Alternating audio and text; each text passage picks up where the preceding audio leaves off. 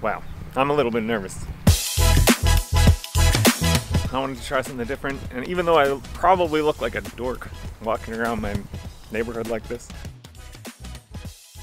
I just wanted to try doing a kind of vlog style video about structures today. So first off, what is a structure? A structure is anything that has a, a definite size and shape and that does something, that fulfills a purpose. So that def definition makes it seem like pretty much anything can be a structure, and that's true. Structure, structure, yep, structure, structure. This tree, yeah, that's a structure too.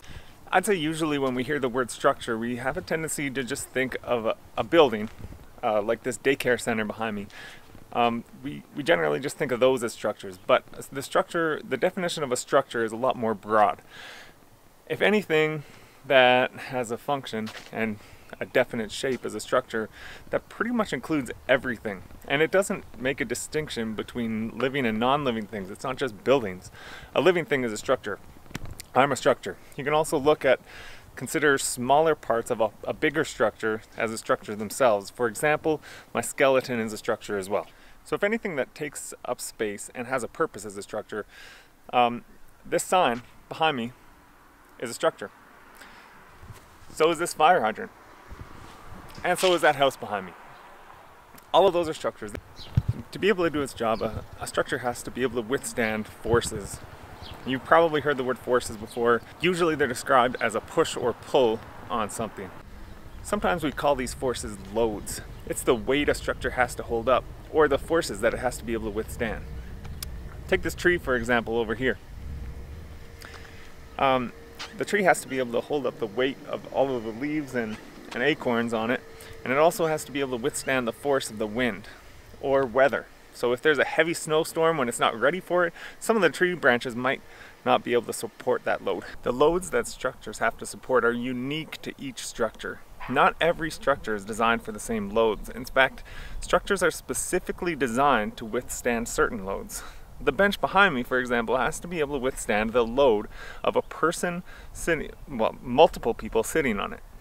Meanwhile, these trees behind me have completely different loads that need, they need to be able to withstand. It's useful for us to be able to classify structures, and we have two main categories that we use to, to classify structures to begin with. Um, the first one is natural structures. That's anything that is not made by people this pine cone is a natural structure. The trees behind me are natural structures. Uh, beehives, beaver dams, birds' nests, all natural structures.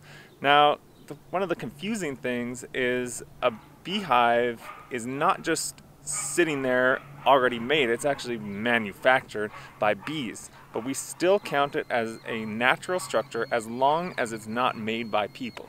So it can be made by animals, that's fine, anything made by humans is from the other category, the manufactured structures.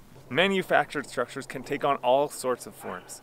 The playground behind me is one type of a manufactured structure. It's made by people, it's got a definite shape, it takes up space, and it serves a purpose to have fun on. There's a lot more types of manufactured structures as well. It's not just buildings. Keep in mind that anything that has a definite shape and has a purpose is a structure. Shoes, water bottles, that street light I just passed, this bus shelter that I'm walking beside and the sidewalk that I'm walking on right now, these are all examples of manufactured structures. Another way to classify structures is to look at how they're put together. We're going to look at three types, mass, shell, and frame structures.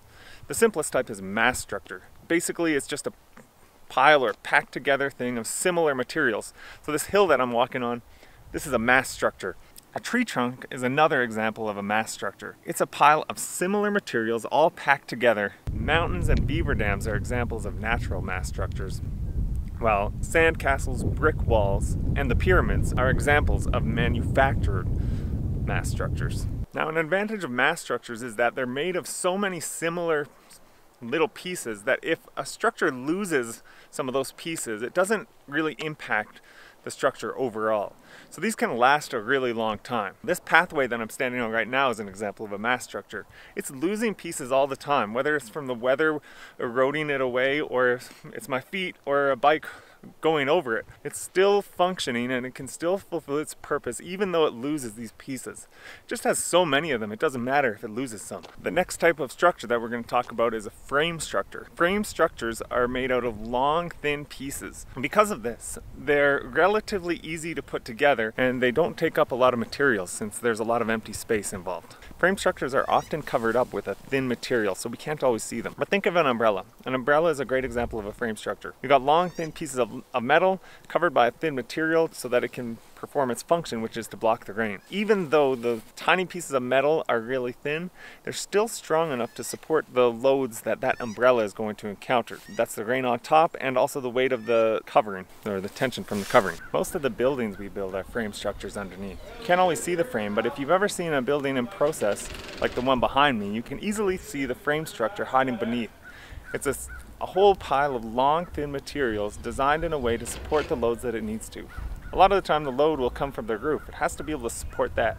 If it can't support the building itself, it can't do its job. If you can see the yellow fence behind me, you can see another example of a frame structure. But that thing behind it, that, that container, that brings me to the last type of structures that we're going to talk about, the shell structure. Shell structures are made of a thin, carefully shaped material to get their shape and strength. Um, these are great containers because they have a lot of empty space and since it's a thin layer they don't use a lot of materials um, so they're cheap to build. Most structures that are designed to hold something are shell structures. Think of the most common natural example, an egg.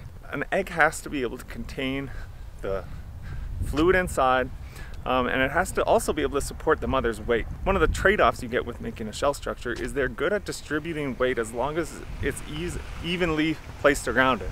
You can take an egg and you can squeeze it as hard as you can and you won't break it as long as you're putting the force kind of equally distributed around the outside.